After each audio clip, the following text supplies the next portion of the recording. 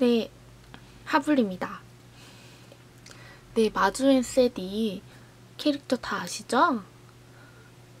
마주엔 세디에서 수딩, 수딩, 얘도 수딩이에요. 아쿠아, 비타젤.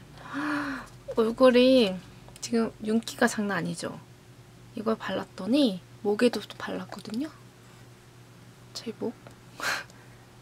아직은 주름은 많이 없는데 그래서 얼굴이 이렇게 촉촉하고 코팅된 느낌이 많이 들고 향은 아쿠아 이런 느낌이라서